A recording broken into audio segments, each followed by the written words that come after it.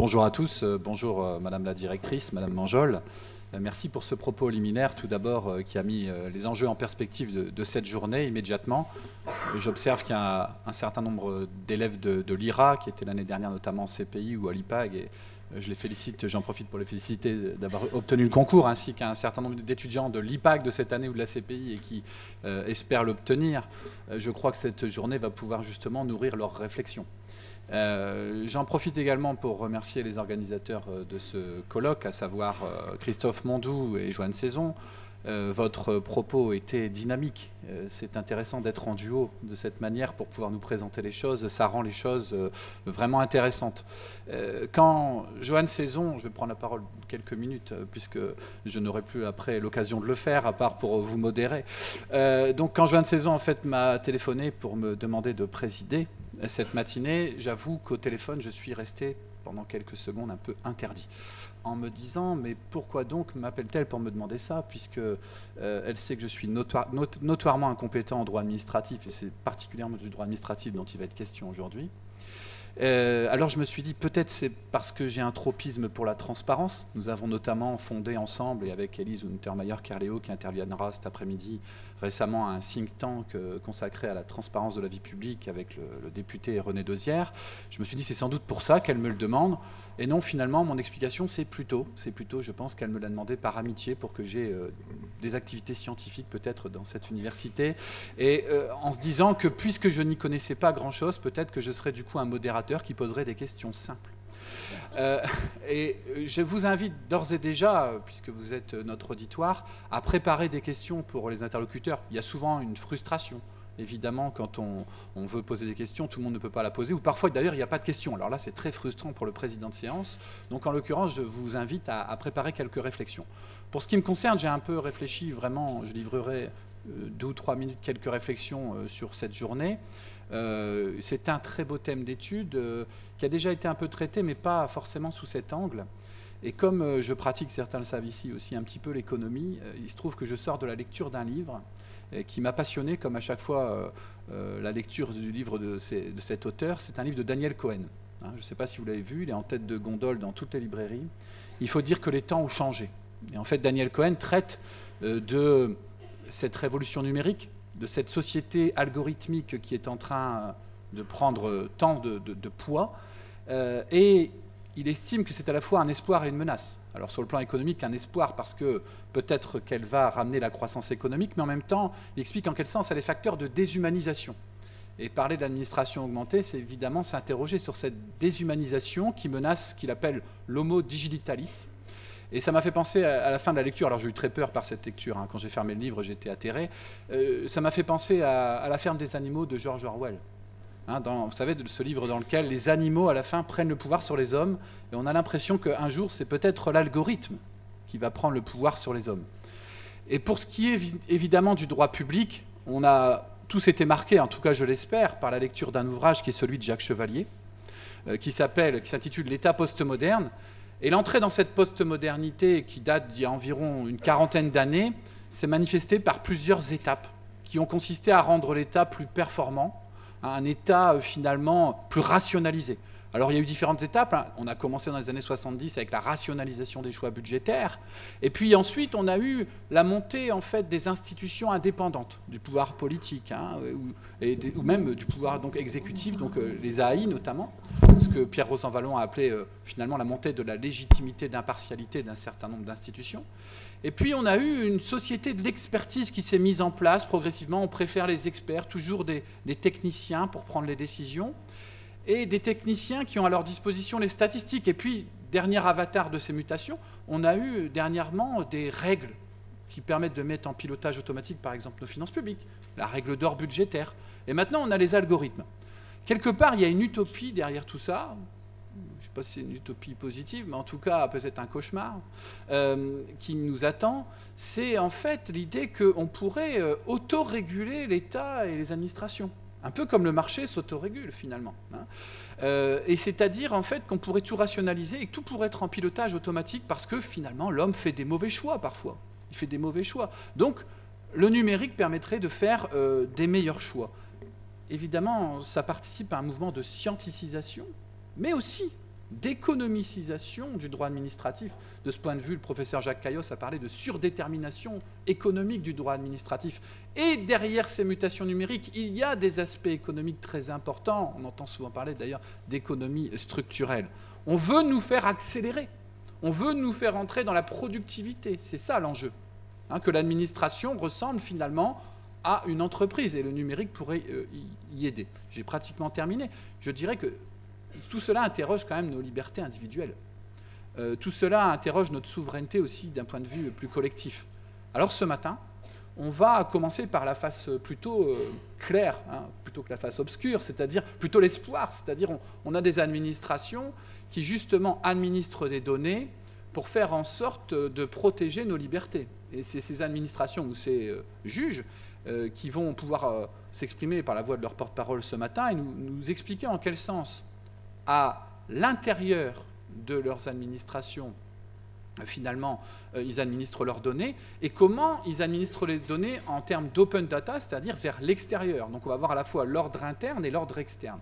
Et ça nous permettra de savoir si on va cheminer vers une administration léviathan, ou si on va conserver une administration qui sait à la fois avoir un pouvoir discrétionnaire, comme le disait Joanne Saison, qui peut l'avoir, mais en même temps euh, qui respecte évidemment l'état de droit. Donc on va s'intéresser ensemble à la régulation. Et c'est aussi l'intérêt de la doctrine de pouvoir poser ces questions-là pour savoir comment on peut mieux faire. Alors justement, la première intervenante ce matin sera Madame Jeanne Dominjon, qui est chargée des études et euh, des partenariats à la Haute Autorité pour la transparence de la vie publique. Alors, nous avons eu la chance de nous retrouver à plusieurs occasions justement pour échanger sur, euh, ces questions. Euh, vous existez, pas vous, Madame Dominjon, mais en tout cas la Haute Autorité depuis les lois évidemment du 11 octobre 2013. Euh, et vous êtes là-bas chargé finalement de quoi Eh bien, euh, d'un certain nombre d'études et d'être en relation justement avec les partenaires euh, scientifiques, avec les think tanks, etc. Vous êtes, vous vous êtes d'abord passé par Sciences Po Paris, et puis vous avez également fait des études de philosophie politique et d'éthique, avec un très beau mémoire sur les lobbies et, la souveraineté. Et donc aujourd'hui, vous allez pouvoir nous livrer vos réflexions. Donc je vous laisse la parole. Vous avez 20 minutes, je suis le maître des horloges, mais ne vous inquiétez pas avec le temps soyez détendus, Aline, nous prenons le temps de faire les choses, nous n'allons pas sombrer dans l'impératif de productivité. Merci Mathieu.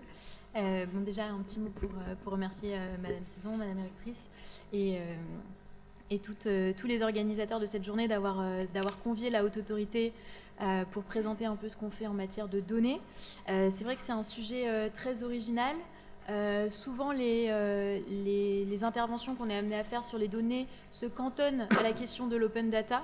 Et donc là, je trouve ça très intéressant d'ouvrir plus largement le sujet euh, pour les relations administration-données qu'à cette question précise de l'open data et à voir justement, comme disait Mathieu, comment à l'intérieur d'une administration les données peuvent être traitées, utilisées et comment peuvent-elles peuvent modifier la pratique, le métier de cette administration. Euh, donc si vous le permettez, je vais vous présenter très très brièvement ce que fait un peu la haute autorité. Je ne sais pas si c'est clair euh, pour tout le monde. Et puis ensuite, euh, je reviendrai donc sur comment les données, donc on va dire sensibles de la haute autorité, sont utilisées en interne dans les services et ça passe notamment par le développement de certains logiciels. Alors je ne serai pas trop technique, mais le côté technique peut, peut apporter un, un, vrai plus, je pense, sur, sur ce sujet. Et ensuite, je reviendrai sur donc la politique open data et la démarche Open Government de, la haute autorité, qui est en lien avec, euh, avec euh, Etalab euh, notamment, et les engagements de la France dans le cadre d'un partenariat pour un gouvernement ouvert. donc la haute autorité, comme, l'a rappelé Mathieu, on est, on est une autorité administrative indépendante créée par les lois du 11 octobre 2013 relatives à la transparence de la vie publique, suite à l'affaire Cahuzac notamment, mais également d'autres affaires qui ont pu émailler la vie politique. Euh, et, donc, on a euh, trois missions principales. Euh, une première mission qui est de contrôler le patrimoine des plus hauts responsables publics français afin d'éviter l'enrichissement illicite au cours des fonctions. donc, les 15 800 plus hauts responsables publics français qui sont dans notre champ, principalement les membres du gouvernement, les parlementaires, les élus locaux au-dessus d'un certain seuil, au-dessus de, de 20 000 habitants, et puis les hauts fonctionnaires, notamment tous ceux qui sont nommés en Conseil des ministres, ambassadeurs, préfets, voilà, et puis également les cabinets ministériels et les cabinets d'élus locaux. donc c'est un point intéressant euh, à noter. Donc euh, le, contrôle du patrimoine a ce premier objectif de prévenir l'enrichissement. Euh, le deuxième, la deuxième grande mission, qui est peut-être un peu plus novatrice des lois de 2013, c'est la prévention des conflits d'intérêts. puisque la loi de 2013 a apporté une définition du conflit d'intérêts pour la première fois dans la loi française. Et donc, ce, cette prévention des conflits d'intérêts se fait notamment grâce à la déclaration d'intérêts. Mais je reviendrai juste après sur les déclarations qui sont les données que la haute autorité reçoit, qui contiennent les données que la haute autorité reçoit. Euh, et nous avons également, euh, dans ce cadre de prévention des conflits d'intérêts, le contrôle du pantouflage pour les anciens membres du gouvernement et les anciens membres d'autorités administratives indépendantes dans un délai de trois ans après la fin de, leur fonction, et un rôle de conseil déontologique pour l'ensemble des déclarants. Euh, puisque l'idée qu'il y a eu dans ces lois de 2013, c'est qu'on renforce un contrôle des responsables publics, mais en échange, en, contrepartie, ils ont droit à un conseil déontologique. Et on retrouve ça dans la loi de 2016, notamment avec le référent déontologue dans les administrations. Et enfin, une, mission euh, peut-être un peu plus récente, qui date de la loi Sapin 2 du 9 décembre 2016, euh, qui est l'encadrement et le contrôle, alors le contrôle on n'y est pas tout à fait encore, mais l'encadrement euh, des représentants d'intérêt, donc des lobbyistes, qui sont également pour la première fois définis dans la loi de 2016. et puis une dernière mission, qui, est donc, qui va faire le lien avec notre, notre sujet d'aujourd'hui, qui est la transparence, qui a donné le nom à l'autorité. Euh, qui est d'assurer la transparence d'une partie de la vie publique, notamment à travers la publication d'une masse de données, euh, des données qui sont reçues par la haute autorité, analysées, traitées, contrôlées, puis en bout de processus, pour certaines, et ça c'est un point important à retenir, seulement une part des données que l'on reçoit, et une part quelque part très réduite, sont publiées euh, soit sur notre site internet, soit en préfecture, en fonction du type de données. Euh, donc il y a un lien, euh, comme vous le voyez, très fort entre la haute autorité et les données, puisque la haute autorité a été créée quelque part pour recevoir des données et pour les traiter et pour les publier. Euh, je vais peut-être vous présenter le, parcours d'une déclaration entre le moment où la personne va entrer en fonction, va être élue, va être nommée, et le moment où la haute autorité va devoir publier cette déclaration dans les cas prévus par la loi. Euh, cette déclaration va passer par euh, plusieurs étapes qui sont représentées par plusieurs logiciels internes à la autorité qui ont été développés euh, à partir de, 2014 et de l'institution et qui ont connu des évolutions énormes, notamment parce que c'est pas simple de développer des outils informatiques qui doivent être sécurisés, qui contiennent des données extrêmement sensibles. Euh, donc le, premier, euh, le, premier, logiciel qui a été euh, un peu développé, c'est un logiciel qu'on appelle ADEL. Alors ce ne sont pas des acronymes, hein, c'est pas la peine de chercher, c'est juste des noms. donc ADEL, c'est ce qui va permettre à une personne de déclarer. donc elle va se connecter, elle va avoir un identifiant, on va s'assurer de son identité et à partir de là, elle va remplir les informations qui sont exigées par la loi, que ce soit sur son patrimoine ou que ce soit sur ses intérêts.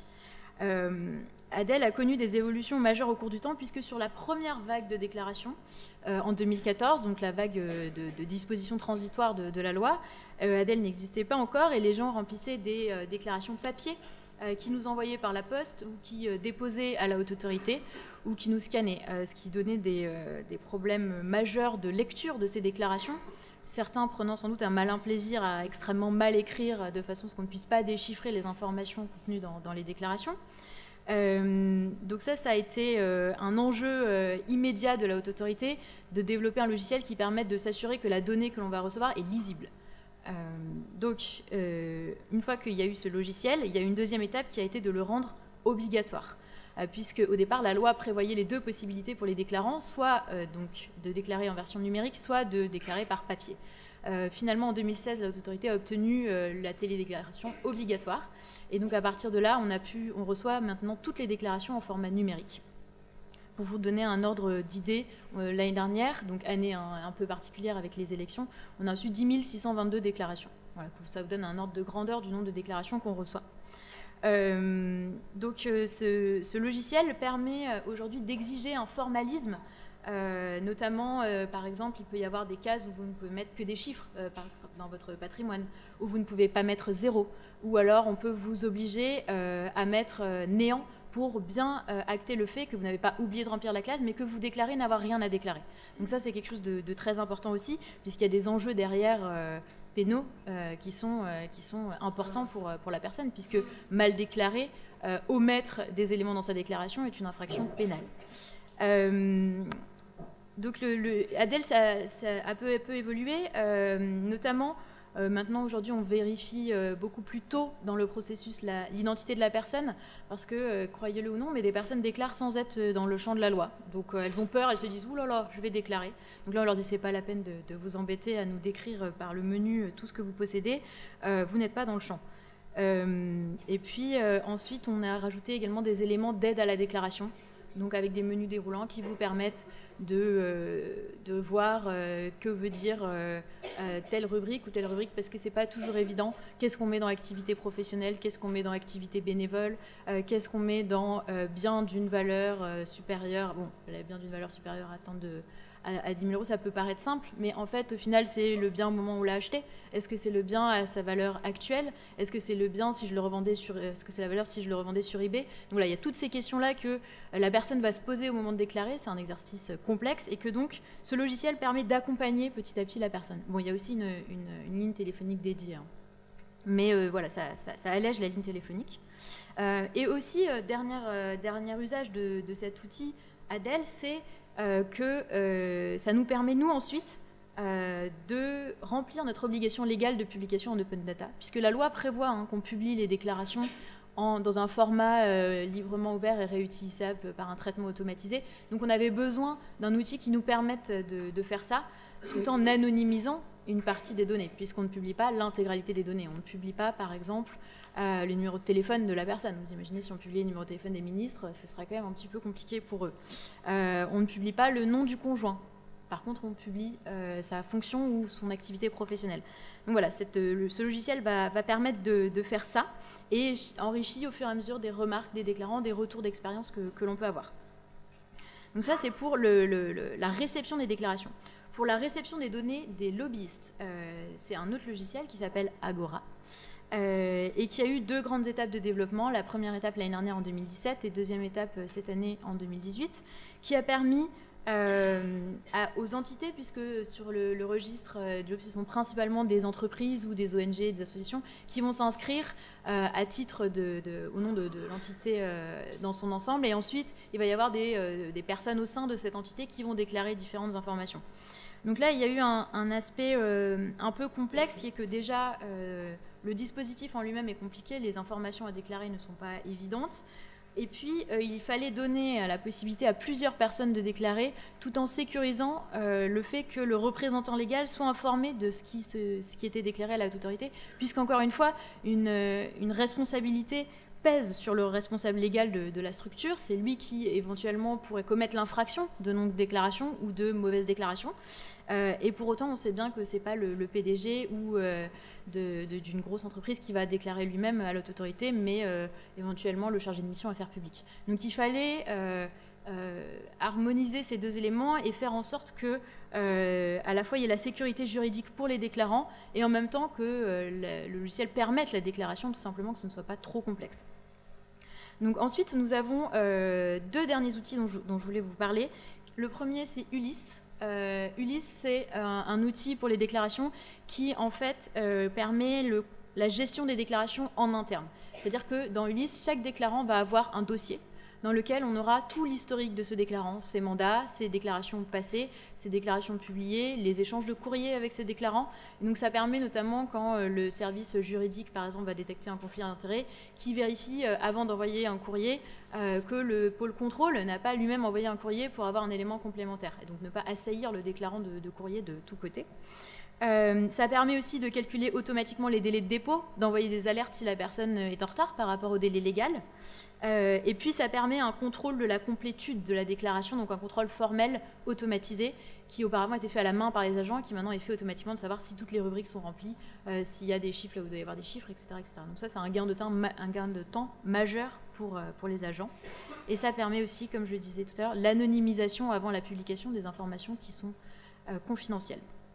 Et enfin le dernier outil qui est un outil très intéressant, bien qu'il soit un peu plus, on va dire, à ses débuts, c'est un outil qu'on appelle Artemis, qui est un outil de veille, euh, big data, qui donc en fait récupère l'ensemble des informations en source ouverte.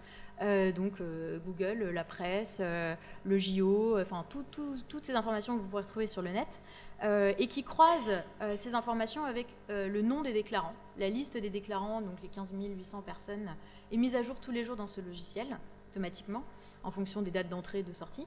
Et ces, ces, noms sont croisés avec les sources ouvertes de façon à faire remonter toutes les informations à l'autorité sur notre déclarant. C'est très utile en particulier pour les élus locaux, pour lesquels c'est beaucoup plus difficile pour nous d'avoir des informations dans la presse nationale ou, ou d'être en communication, alors que la presse locale va nous fournir beaucoup d'informations. Et puis c'est également croisé avec une liste de mots-clés, euh, conflit d'intérêts, nomination, euh, prise illégale d'intérêt, euh, voilà, des, mots-clés, fonctions, qui, permettent de réduire la masse. Alors, la limite un peu de cet outil, c'est que tous les jours, on va avoir de 300 à 800 articles et qu'ensuite le tri doit être fait par les agents. Euh, pour euh, sélectionner les articles pertinents et éventuellement, à partir de ces articles pertinents, ouvrir un examen d'intérêt. Parce que c'est principalement pour euh, le, contrôle des déclarations d'intérêt. Voilà, c'est un, outil qui, est une belle idée, mais qui dans la pratique peut être un petit peu difficile à manier, qui est parfois très lent aussi, hein, parce que quand il y a autant d'informations à processer, et puis qui est très coûteux. le coût a été évoqué. Euh, il faut savoir que les dépenses informatiques à la autorité, c'est 15% des dépenses, donc c'est énorme, hein, c'est un coût majeur pour l'institution. Euh, donc voilà pour euh, nos outils internes. Quelques mots maintenant sur l'usage des données que la haute autorité fait dans un cadre externe et qui en fait répond à sa vocation de transparence de la vie publique. L'idée qu'il y a derrière la transparence qu'on va apporter sur certaines données, c'est qu'il va y avoir la possibilité ensuite d'un contrôle par euh, la société civile, par le citoyen, par les journalistes, euh, qu'il va y avoir ce, regard sur les informations, et puis que cette transparence va également aider à l'intégration d'un habitus par euh, le responsable public qui, sachant qu'il va être observé, qu'il va être regardé, contrôlé par ses électeurs ou par les journalistes, va de lui-même modifier son comportement et être de plus en plus intègre, du moins on l'espère.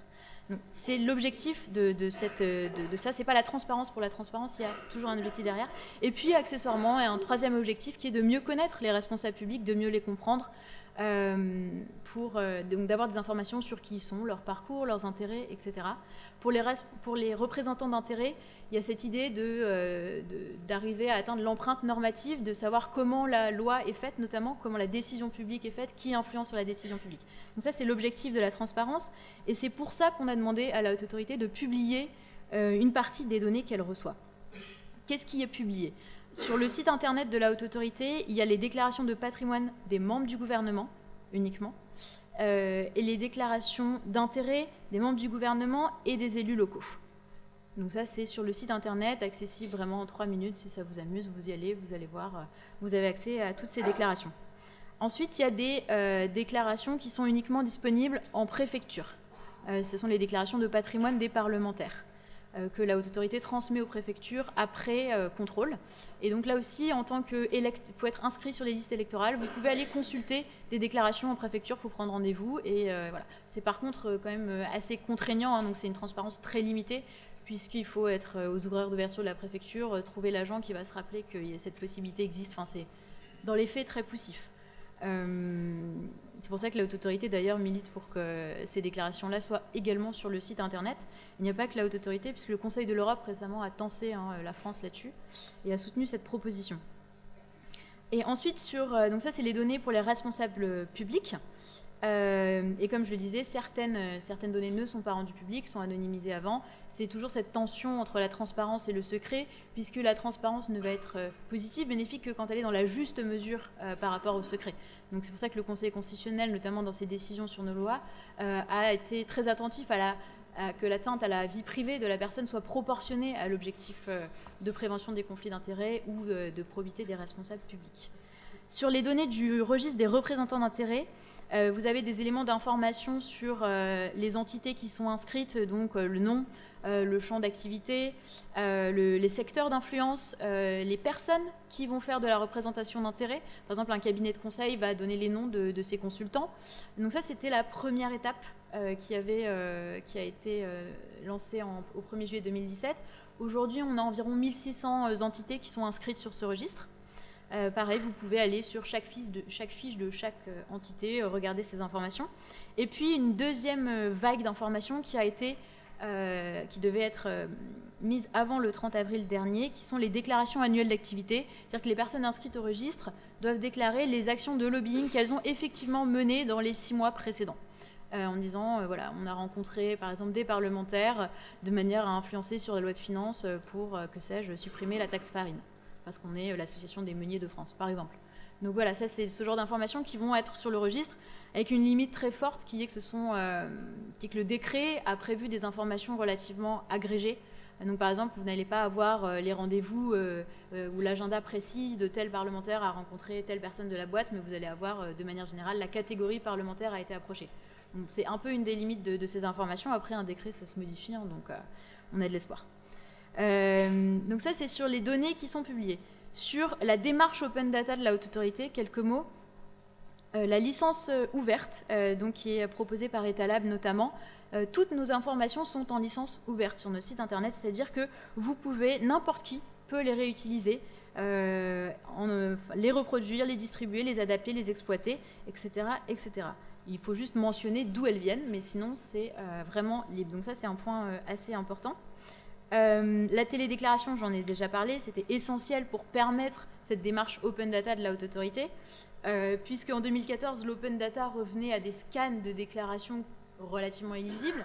Alors après, il y a eu des, euh, initiatives hein, citoyennes, notamment Regard Citoyen, qui avait fait un énorme travail de retransmission euh, dans, un, fichier Excel géant des données qui étaient en PDF. Donc euh, il y avait eu euh, cet élan pour s'emparer de ces données.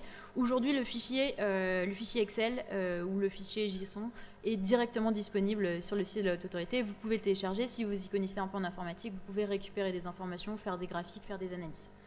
donc ça, c'est depuis l'été 2017, en fait, que l'ensemble de nos déclarations sont publiées en open data.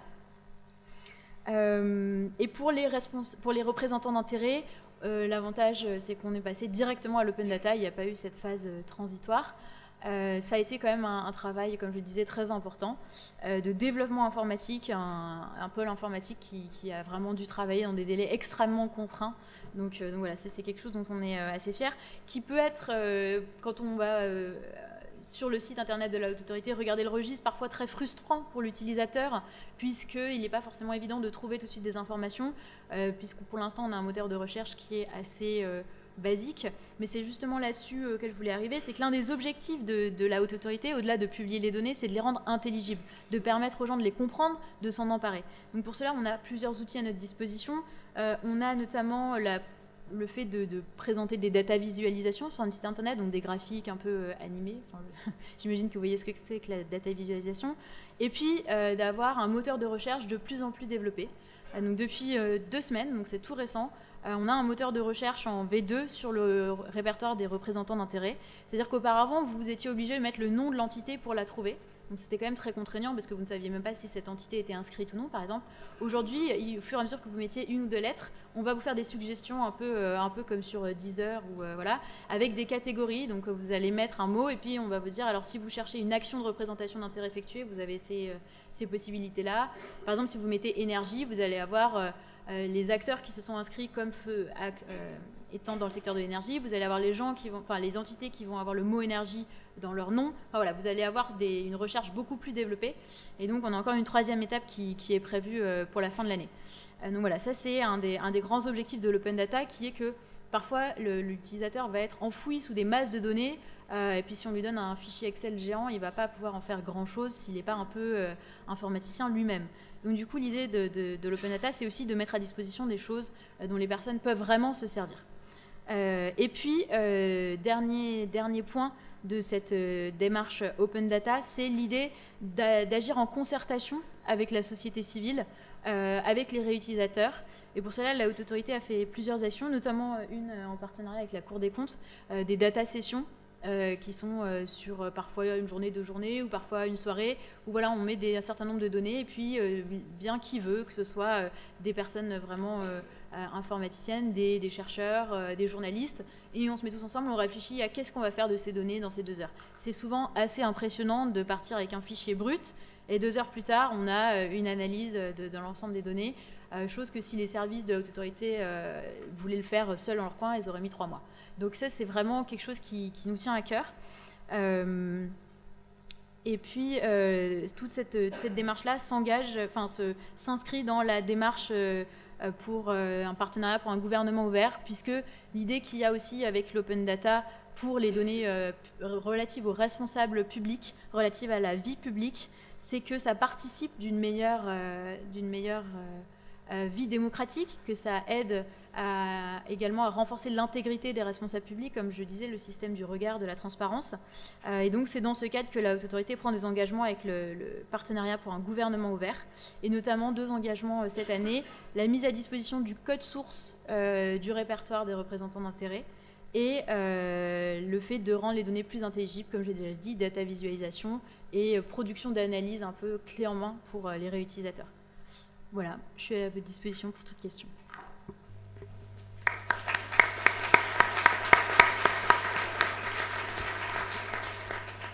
Merci euh, Jeanne pour cet exposé très didactique euh, qui nous a appris beaucoup de choses. J'en profite pour, euh, pour signaler que la Haute Autorité pour la transparence de la vie publique publie chaque année un rapport d'activité, dont d'ailleurs tu es l'auteur. donc vous pourrez retrouver beaucoup de détails dans ce rapport d'activité. Vous pouvez aussi retrouver un entretien que Eric Buge nous avait accordé à la Revue française d'administration publique il y a quelques mois. Eric Buge est l'ancien secrétaire général adjoint de la Haute Autorité et qui permet également de remettre en perspective un certain nombre de choses. J'avoue que j'ai appris euh, à l'instant ce qu'était la data visualisation. Et, j'en profite avant de présenter notre prochain invité euh, pour euh, quand même dire que justement la mission Etalab a un site internet qui s'appelle data.gouv.fr et en termes de data visualisation, elle a beaucoup de progrès à faire. Et il est bien dommage, aujourd'hui, j'ai oublié de le dire tout à l'heure, mais nous avions prévu une intervention avec un invité euh, d'Etalab qui malheureusement n'a pas pu euh, être présent. C'est bien dommage parce que c'est par là qu'il aurait fallu commencer. Euh, il faut que les étudiants qui, à mon avis, sont à l'IRA, comme ceux qui préparent le concours, connaissent en fait Etalab. Ils le connaissent peut-être d'ailleurs mieux que moi. c'est finalement quoi? Ben, On va dire euh, l'organe qui est chargé de la coordination interministérielle de l'open data, c'est-à-dire d'aider les administrations à administrer leurs données numériques. Euh, et donc, il faut aller sur euh, le site pour pouvoir se rendre compte de quoi il s'agit. Bon, ça existe, comme Christophe l'a dit, depuis 2011. Hein, c'est un décret de 2011. Etalab a d'abord été rattaché au secrétariat général du gouvernement, puis au secrétariat général à la modernisation publique, et enfin à la DINSIC, hein, c'est-à-dire à la direction interministérielle du numérique mais ça fait partie des, connaissances qu'on doit avoir. Malheureusement, nous ne saurons pas grand-chose aujourd'hui de plus sur Etalab parce que, bizarrement, c'est une institution qui, a priori, est chargée de faire l'open data, mais une institution dont on ne connaît pas bien le fonctionnement, ce qui pose quand même, d'un point de vue démocratique, un certain problème.